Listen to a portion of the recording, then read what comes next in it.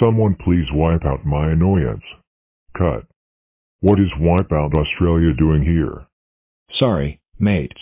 I'm just replacing TriStar Pictures while he plays the HD remake of Luigi's Mansion 2 on Nintendo Switch. I think you all know the drill by now. Well, that's okay. We'll just wait for TriStar to come back and then we'll do take 17.